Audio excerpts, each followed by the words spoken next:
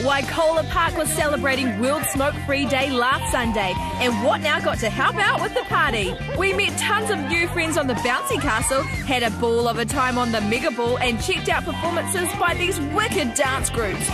We all had an awesome time, but there was an important message to take away, guys. Stay smoke free and stay healthy.